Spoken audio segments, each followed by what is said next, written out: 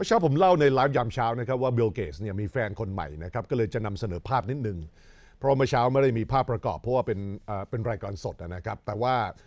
ผมได้นำเสนอประเด็นนี้ไปไปแล้วตอนเช้าสั้นๆนะฮะนี่คือแฟนใหม่ของบิลเกตส์นะฮะบิลเกตส์ก่อนหน้านี้เนี่ยเขามีชื่อเสียงที่ไม่ค่อยดีสักเท่าไหร่หลังจากที่เขาเลิกรากับเมลินดาเกตส์ซึ่งใช้ชีวิตสมรสร่วมกันมานาน แล้วก็มีบุตรด้วยกัน แล้วก็มีกระแสข่าวว่าเขาได้เคยไปคบหาสมาคมกับ เจฟฟรีย์เอปสไตน์ด้วย แล้วก็เคยไปจีบพนักงานซึ่งทำงานในบริษัท Microsoft ก็เลยมีข่าวคราว เรื่องชู้สาวซึ่งไม่ค่อยดีสักเท่าไหร่ แต่ว่าบิลเกตส์ในข่าวนี้ตกลงแล้วเนี่ยเขากำลังคบกับผู้หญิงซึ่งเคยแต่งงานนะกับอดีตประธานเจ้าหน้าที่บริหารบริษัท ซึ่งเอาจริง ๆ แล้วเป็นบริษัทคู่แข่งของเขานะฮะเป็นบริษัทของ Larry Ellison บริษัทซึ่งมีชื่อว่า Oracle Oracle เนี่ยเคยมีประธานเจ้าหน้าที่บริหาร ซึ่งมีชื่อว่า Mark Hurd Mark Hurd ในปัจจุบันเสียชีวิตไปแล้วนะฮะ แล้วผู้หญิงซึ่งเคยเป็นภรรยาของ Mark Hurd เนี่ย ก็เป็นไฮโซชื่อดัง ซึ่งมีชื่อว่า Paula Hurd นะครับ นี่คือภาพจากหนังสือพิมพ์ New York Post นะครับของรูเปิร์ตเมอร์ด็อกนะครับ รายงานว่าตกลงแล้วบิลเกตส์ตอนนี้เนี่ยหลงรักแบบหัวปักหัวปั๊มฮะหลงรักหัวปักหัวปั๊มเนี่ยแฟนคนใหม่นะครับ Paula Hurd Daily Mail ก็มีภาพประกอบนะครับ Paula Hurd อายุ อายุมากแล้วนะฮะอายุ 60 ปีนะครับบิลเกตส์อายุมากกว่า และเข้าใจว่าตามรายงานข่าวของ Daily Mail ก็คือทั้งคู่เนี่ยชอบเล่นเทนนิสเหมือนกันนะฮะก็คงจะมีโอกาสได้ตีเทนนิสด้วยกันในยามแก่บิลเกตส์นะครับอายุ 67 นะครับ ส่วน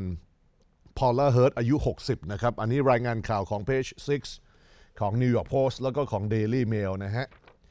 ดูรายงานข่าวอื่นๆบ้างซึ่งน่าสนใจในวันนี้ ถ้าพูดถึงเทรนด์ณเวลานี้ของบริษัทใหญ่ ๆ ในช่วงเวลาที่เศรษฐกิจไม่ค่อยดีนัก อาจจะเจอ recession ก็ได้ บริษัทใหญ่ๆเขาเตรียมแผนในการรัดเข็มขัด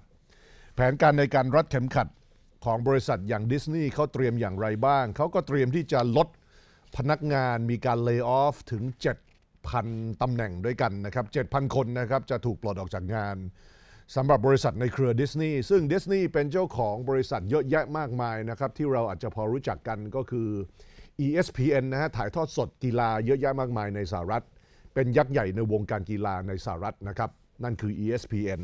ดิสนีย์นะดิสนีย์หนังดิสนีย์ทั้งหมดที่เราดูเนี่ยนะฮะการ์ตูนดิสนีย์ทั้งหมดที่เรารู้จักกันเนี่ยนะครับ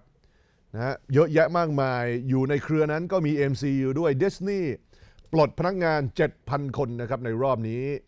ประธานเจ้าหน้าที่บริหารคนใหม่ ซึ่งคือคนก่อนหน้านี้กลับมาคืนสู่ตำแหน่ง แล้วก็เริ่มด้วยการรัดเข็มขัด หนึ่งในงานชิ้นโบแดงชิ้นชิ้นแรกก็คือจะทำให้ดิสนีย์สามารถประหยัดงบประมาณรายจ่ายไปได้สูงถึง 5,000 5,500 ล้านดอลลาร์สหรัฐนะฮะประหยัดงบประมาณรัดเข็มขัดในรอบนี้ มันก็เป็นฤดูแห่งการลดลดคนงานนะครับแม้กระทั่งซูมเนี่ยคุณเห็นข่าวนี้ซูมเนี่ย ซูมไม่ได้เป็นบริษัทใหญ่นักหนานะฮะเขาปรับลดพนักงานในรอบนี้ 1,200 กว่าคนนะฮะแต่ว่าเป็นสัดส่วนที่ไม่น้อยเลยสำหรับบริษัทซูมนะครับซูมก็เป็นอีกบริษัทหนึ่งซึ่งรัดเข็มขัดในช่วงนี้ นี่มันไม่ใช่มันไม่ใช่ข่าวซึ่งซึ่งเป็นสิ่งที่อยู่นอกเหนือเทรนด์นี่เป็นสิ่งที่อยู่ในเทรนด์นะฮะอย่างในกรณีของซูมก็ปรับลดพนักงาน สายเทคโนโลยีมีการ layoff กันเยอะนะฮะ กรณีของซูมเนี่ยทางผู้บริหารเขาออกมาบอกว่า layoff พนักงานครั้งนี้ มีความจำเป็นอย่างยิ่งในฐานะที่เป็น CEO และผู้ก่อตั้ง เขาบอกว่าเขาเองมีส่วนรับผิดชอบกับความผิดพลาดต่างๆ ที่นำมาสู่การตัดสินใจ ในการลดพนักงานในรอบนี้มิสเตอร์หยวนเนี่ยนะฮะผู้บริหารและผู้ก่อตั้งซูมเนี่ยเขาบอกว่าต้องการแสดงให้เห็นถึงความรับผิดชอบมากกว่าแค่คำพูด โดยที่ตัวเขาเองเขาจะยอมลดเงินเดือน ถึง 98%นะฮะ แล้วก็จะไม่รับโบนัสประจำปี 2023 การ layoff พนักงานของซูมในรอบนี้ อาจจะเป็นเพียงแค่ 1,300 คนก็จริง แต่ว่า 1,300 คนสำหรับซูมเนี่ย เทียบเท่าการตัดพนักงานไปถึงร้อยละ 15 ขององค์กรนะฮะ